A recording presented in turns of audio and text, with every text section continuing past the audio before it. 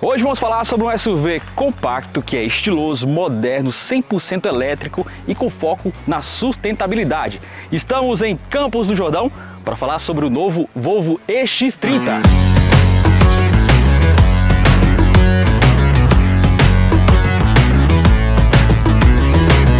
Vamos falar um pouquinho aqui sobre o design desse novo carro, que tem aqui o farol já com o formato do tradicional martelo de torque, que é a assinatura visual da Volvo.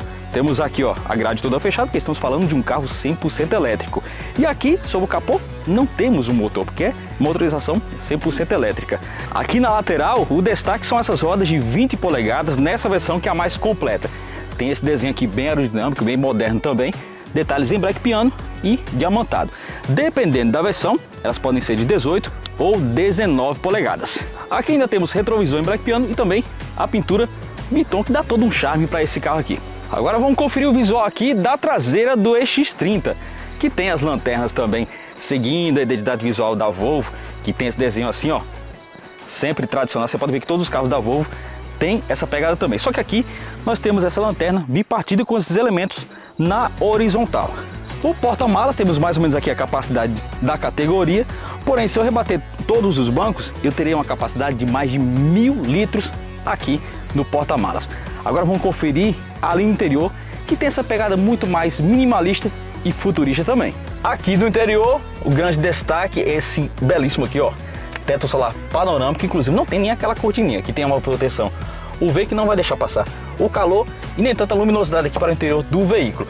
Os bancos tem esse tecido aqui que parece um jeans e tem um bom espaço para três adultos, inclusive aqui ó, para a cabeça e também para os joelhos. Os comandos dos vidros são aqui, ó, no meio do console central. Senti um pouco de falta de um ar-condicionado aqui para quem senta na segunda fileira de bancos. Agora a vantagem é que quem vai aqui no meio do banco traseiro não vai se incomodar porque não tem o túnel central aqui que vai diminuir ali o seu espaço. Porém, o final do console acaba atrapalhando um pouquinho. Agora, se tem uma coisa que eu gostei aqui desse carro, foi desse interior com essa pegada bem minimalista e futurista ao mesmo tempo. Você pode ver, não tem botões aqui, ó, no painel.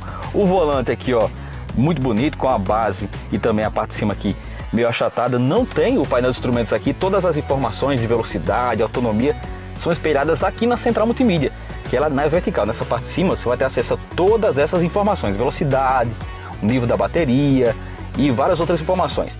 E ela pode ser até compartilhada com o mapa e também com os comandos do ar-condicionado e até com os aplicativos que você usa mais. Agora vamos acelerar o carro e conhecer um pouco mais das tecnologias da motorização, autonomia e saber se vale a pena ou não ter um carro elétrico da Volvo na sua garagem.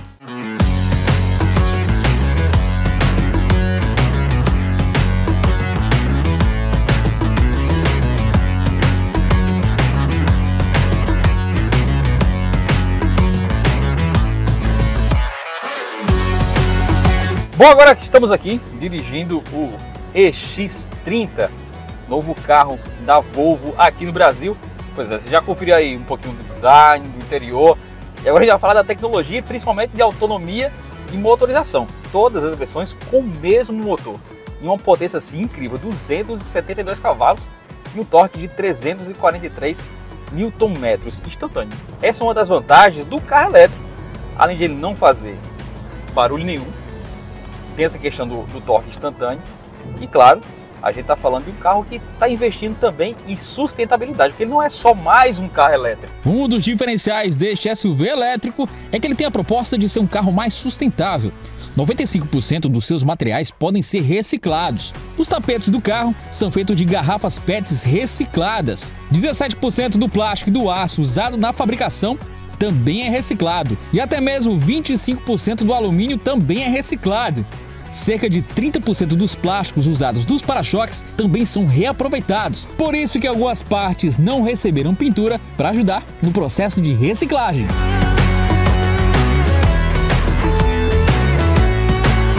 São quatro versões aqui do EX30.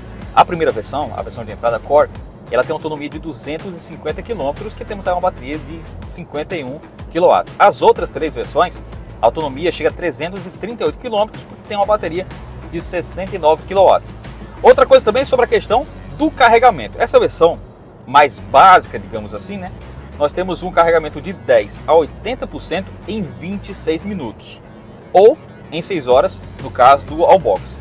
Já as outras versões, como essa que nós estamos testando agora, que é a versão Ultra, que é a mais completa, o carregamento de 10 a 80% é realizado em 28 minutos, um carregador rápido. Já no Allbox, 8 horas para você ter essa carga aí completa, até os 80%. Agora, se tem uma coisa também que vai chamar atenção para esse carro aqui, vai fazer as pessoas olharem para o Volvo com outros olhos, é a questão do preço. Ele está chegando com preço de SUV a combustão. Rasgando aqui, a gente pode falar, né?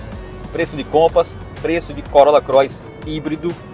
E realmente temos aqui um SUV da Volvo, que é uma marca já premium, 100% elétrico. Muito competitivo esse preço.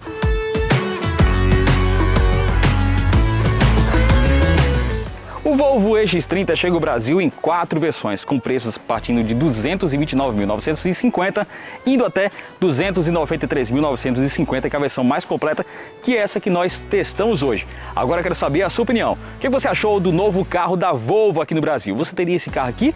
Lembrando que ele tem preço de carro a combustão, então vale muito a pena você conhecer e saber um pouco mais das tecnologias que esse carro aqui apresenta. Fique agora com o Volvo EX30.